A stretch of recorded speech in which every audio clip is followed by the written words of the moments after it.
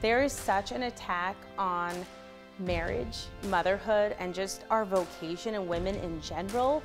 I realize there's so many other women just like me in that struggle, and I want them to know that you are not alone. Join me for the new series, Women Made New. I'll walk with you and introduce you to some amazing women, finding ways to make their relationships, their homes, and their families happy and holy. We can do this together. Women Made New. Saturdays at noon Eastern on the EWTN Global Catholic Radio Network.